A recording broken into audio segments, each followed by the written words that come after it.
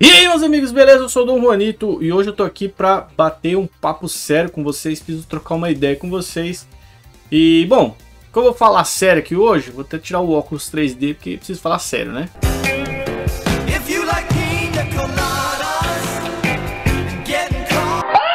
Bom, eu vou falar aí algumas coisas que vem acontecendo aqui no YouTube, um pouquinho do canal para vocês e tentar ser bem direto, né? É, eu já tinha pensado em fazer esse vídeo, né? E acabaram soltando um vídeo com o mesmo tema aí, o nosso amigo aí lá, o, o Paulo Zulu, conhece o Paulo Zulu? O Paulo Zulu é dono desse canal aqui, ó, pra quem não conhece. Soltou um vídeo parecido e outro amigo nosso tinha comentado sobre o assunto num, num vídeo dele, né? É, o amigo em questão é o Jiraya, né? Quem vocês devem ter visto, teve até posts falando sobre isso em várias comunidades aí no Facebook. E falando, né, sobre propagandas em vídeos, né? No caso, falando da, da Blaze, né? E a Blaze... Mano, eu sinceramente não, não sabia do que se tratava a Blaze. Pra mim, eu achava que era... Tipo aquelas casas de apostas que você aposta num, num jogo de futebol o resultado e se acertar ganha. Eu não sei nem se de repente até isso eu ainda não tô sabendo. Eu não, não me aprofundei no assunto, eu só sei que é um. que é golpe, né?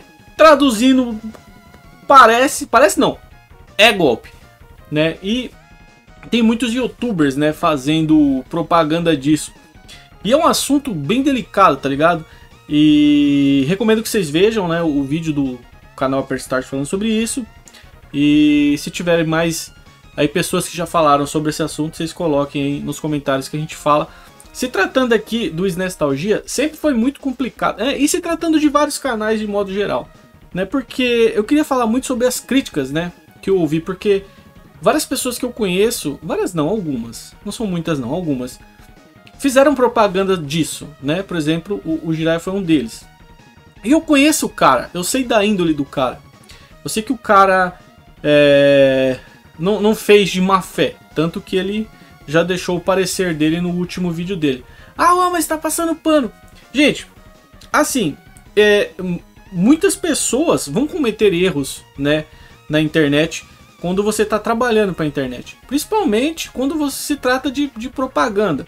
Tem canais gigantes que tem toda uma estrutura, que tem pessoas que trabalham para a pessoa focada nisso, né? Tem agência, empresários que trabalham para fechar esse tipo de coisa. Mas tem muita gente que faz tudo sozinho, né? Eu fecho aqui os meus negócios sozinho, sempre foi sozinho. O canal já está chegando aí. Ah, já passou de 10 anos o canal aqui. Depois tem que fazer as coisas. Tem mais 10 anos já o canal. E sim, eu sempre fiz tudo sozinho, sem saber fazer, sem saber precificar, sem saber o formato, sem saber editar. Foi tudo na raça. Então teve. E, e eu já fiz merda aqui no canal. E, e esse tipo de coisa vai acontecer. Agora o que eu não acho justo, às vezes por, por algum deslize, né? Assim, óbvio, você tem que ser cobrado por suas ações. Mas às vezes a, a galera pega pesado, né? Mas no caso lá do Jirai, eu, eu, vi assim alguns comentários, né, pegando pesado, mas nem tanto, a maioria do pessoal entendeu, né? Eu já recebi propostas aqui para fazer vídeo desse tipo de coisa aos montes no canal, tá? Mas, e, e não só esse, como de todo outros tipos de coisas que eu já recebi proposta, avião barulhento, toda hora que eu tô gravando, passa um avião, carro, moto, tudo fazendo barulho. Então, e sendo bem sincero com vocês, lá no começo do canal, quando começou a receber aqui as primeiras propostas aí de propaganda, eu nem sabia direito como trabalhar com isso, né? Não sabia nada. E a, aconteceu, né, de algumas vezes eu não pesquisar tanto sobre o produto em questão, sobre a empresa em questão, e acabou dando merda uma vez, como vocês lembram lá do, do golpe do, do Nintendo Switch, que eu caí golpe, acabou, uma galera caiu no golpe, mas na época, graças a Deus, a gente conseguiu resolver da melhor forma possível e ninguém de fato foi lesado.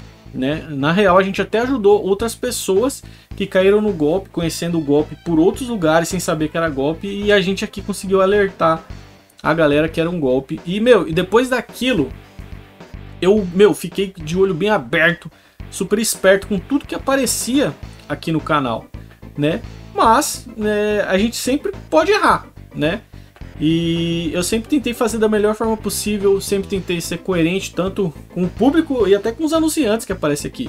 né? Já fiz propaganda, os outros youtubers vai querer me matar. Já fiz propaganda de graça aqui várias vezes, tá ligado? De cara, mano, eu tenho uma loja e um sonho, me ajuda aí. Falo, bora, filho. Já fiz, tranquilo. E não me arrependo, fiz porque eu sou assim. O cara pediu ajuda, eu ajudei, né? Não sei, se, como eu falei, tem cara que, meu, o maluco acabou de abrir a loja ali, tem meia dúzia de, de item, mal tem dinheiro e o cara já quer cobrar na propaganda lá 5 mil reais do, de anúncio, tá ligado? Não dá. E assim como eu tive ajuda quando eu comecei aqui no, no YouTube, eu acho que às vezes vale a pena a gente ajudar aí. É, um, uma das coisas que atrapalhou. É, isso, isso. Agora vamos falar um pouco do canal aqui. Isso foi uma das coisas que acabou atrapalhando o canal durante um tempo. Teve uma época que o canal tava bombando.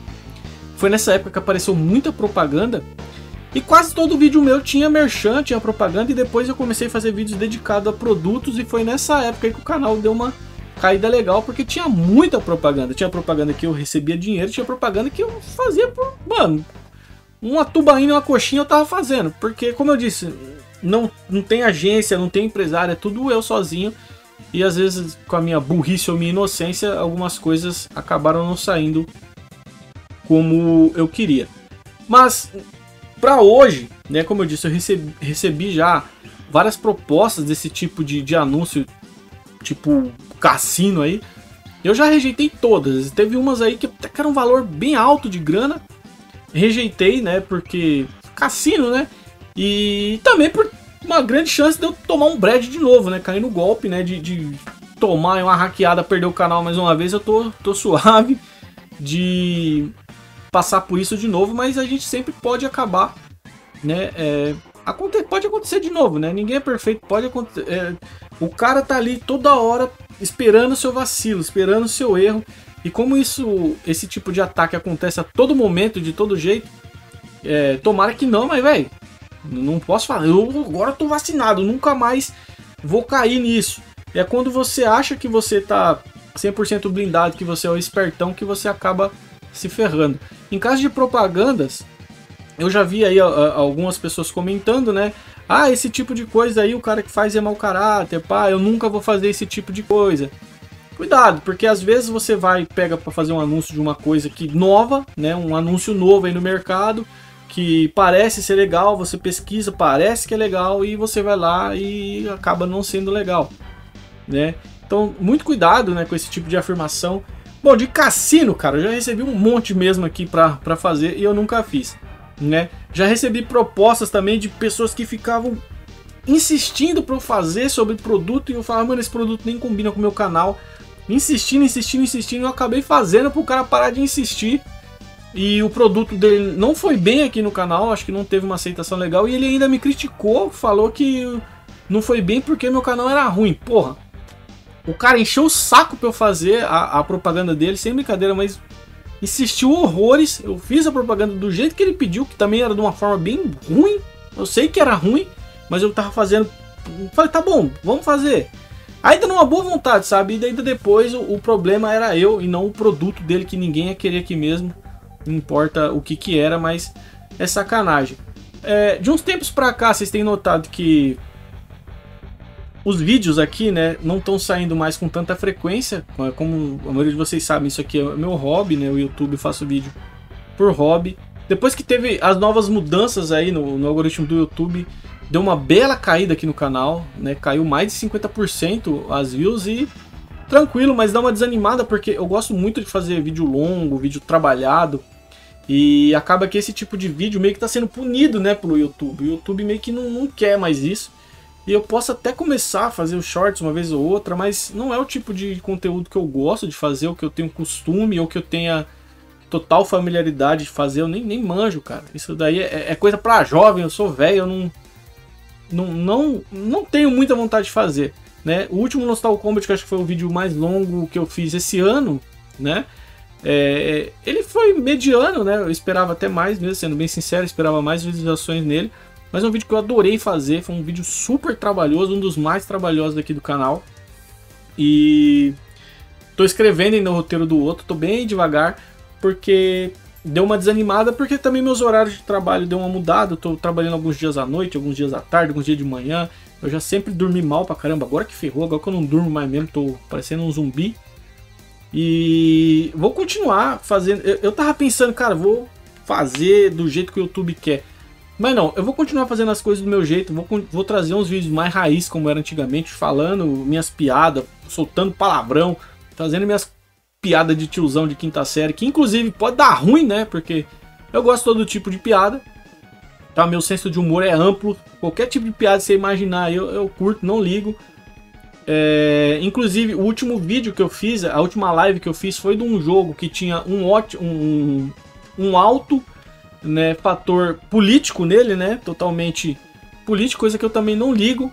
Tá? Se o jogo fosse 100% esquerdista, eu jogo, 100% direitista, eu jogo, eu jogo, eu queria conhecer o jogo, achei legal as primeiras fases do jogo, achei criativo, achei engraçado. Final do jogo eu não acabei não curtindo tanto, mas porque era com um assunto meio polêmico, né, que e pessoas mais fanáticas, né, um assunto que traz muito fanático. Eu perdi mais de 100 inscritos por causa dessa live. Eu, eu acho que eu não perdi, na verdade eu ganhei. Que a pessoa e alguns saiu xingando ainda porque eu falei do jogo. E, cara, eu respeito todo mundo. Né? Se você vem aqui e fala, cara, é, minha posição política é essa, eu acredito nisso, cara, numa boa, velho. Vamos ser, vamos ser amigos. Ah, minha posição política é totalmente diferente da que o outro cara falou. Numa boa, velho. Não tem problema. Acho que cada um escolhe o que quer, não, não fazendo mal para mim, não fazendo mal para as pessoas. Você pode, cara, acreditar em elefante cor-de-rosa com bolinha roxa, que eu não ligo. Cada um, né? Cada um. E é isso, né, que eu queria falar para vocês. Esse tipo de propaganda referente a esses sites duvidosos aí, também não pretendo trazer aqui no, no canal, né, em respeito a todos vocês. E agradecer aí o pessoal que tem apoiado, né? Vou tá passando aqui, ó. Aqui. Vai estar tá passando aí em algum lugar aí. Vai estar tá passando aí a galera que apoia aqui o canal. Eu peço que vocês aí quiser apoiar o Nostalgia, seja um membro aqui no, no YouTube tá? Quando eu tava fazendo as minhas camisetas, eu tinha a meta de chegar a 30 membros pra gente sortear a camiseta. Isso já tem mais de dois anos. E nunca chegou nos 30 membros, a gente nunca conseguiu fazer o sorteio. Eu acabei fazendo o sorteio, falei, vai demorar tanto, não vai chegar. Que entrava um, saía outro, entrava outro, saía dois, entrava três, saía 20. E nunca chegou nesses 30 membros aí, né, pra gente fazer. E é meio culpa minha mesmo, tá? O, o canal tá carente assim de vídeos mais dedicados, vídeos mais elaborados. Eu sei que os vídeos ultimamente não estão com aquela qualidade que já foi antes no canal, mas é por causa do desânimo de muitas coisas da plataforma, do dia a dia, da vida, mas isso é normal. Todo mundo tem isso. Só tô falando aqui com vocês. Bom, é isso. É, não sei se eu consegui me expressar bem. O vídeo foi sem roteiro, só cheguei aqui, liguei a câmera e tamo junto. Eu acho que o, o Brad aqui é a página virada né, no canal. Eu vou falar cada vez menos de Brad aqui. Vou estar tá mudando as artes do canal. Vou tá fazendo aí umas reformulações. E mas mesmo assim mantendo muita coisa raiz aqui do canal que vocês vão ver voltando. E eu espero e conto com o apoio de todos vocês. É isso aí, cambada. Eu sou do Juanito. E até a próxima. Nostalgia.